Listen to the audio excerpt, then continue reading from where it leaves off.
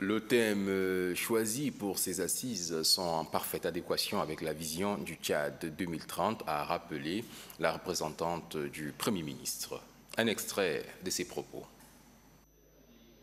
Les thématiques inscrites à l'ordre du jour de cette réunion sont pertinentes et en parfaite adéquation avec la vision 2030 du Tchad que nous voulons, prônée par son Excellence Idriss Déby Itno, président de la République du Tchad.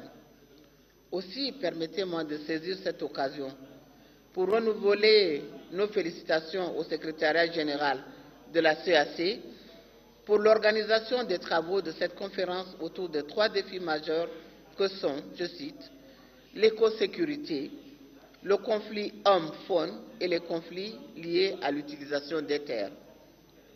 S'agissant de l'écosécurité, il est urgent de mettre en place un outil opérationnel allant au-delà du mandat des éco-gardes, actuellement inadapté à la lutte contre la criminalité des ressources naturelles organisées, je disais, par des bandes lourdement armées et souvent avec des armes de dernier cri.